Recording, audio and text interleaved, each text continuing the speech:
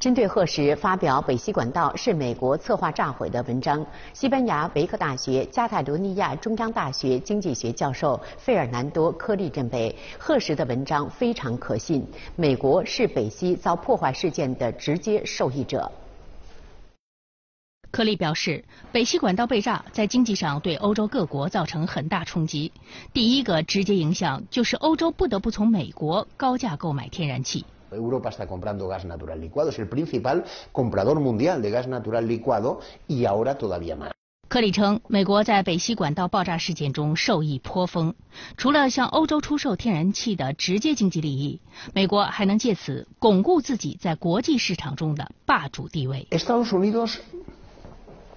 Eh, yo diría que desde el punto de vista económico es muy global lo que gana.